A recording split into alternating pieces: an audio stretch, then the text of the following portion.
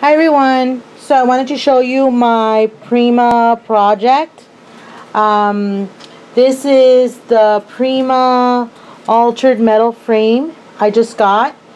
And what I all how what I decided to alter it with is um, the background has let me see if you can get in the light has um, the Prima Princess paper so it has the, I think it's called the Olivia princess paper.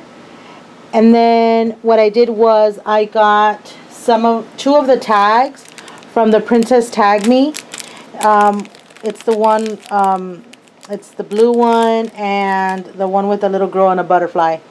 So I got those two and I put them together to create this little card set right here. And then I used the Junkyard Findings street signs, which, by the way, once you open the package, all these things just fall out um, to get the Dream Road.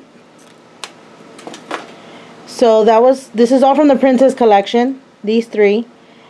And then the Dream Road. And then this one, these flowers here, oops, let me see if I can get a, get it in the light a little bit.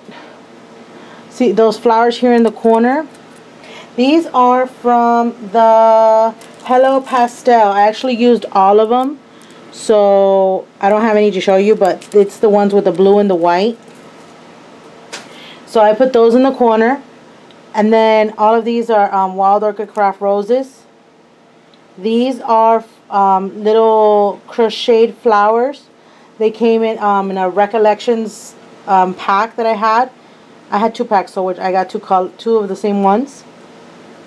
So they're in there. Back here, which you could see the white a little bit. Let's see if you can see it on screen. Yeah, you can see it on screen. It is the Prima doilies. And those I got this weekend. It's the Prima doily flowers. And of course, the one right behind the the flowers and right in the corner, I used this for and the flower one. So I used one of each which you can see let's see if you can see it because I kind of put a whole bunch of stuff on it. Let's see. Well, nope, you can't see it anymore, but there was one up there and the doily is in the back. See, it's back here. That's the doily, the Prima doily. The other one was um, you could see it peeking out from here, I guess. But I, I covered it when I added more flowers. Didn't realize that. Here, I used the Junkyard Findings um, heart corners. So that's the one that's there.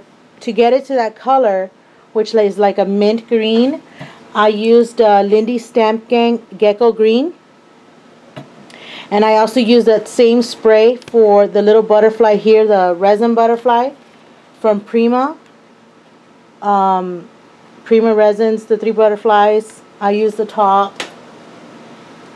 And this here on the outer edge is actually Jo-Ann's um, dollar lace. So yeah, this was three yards for a dollar. And it's a really pretty lace. And this is my finished project.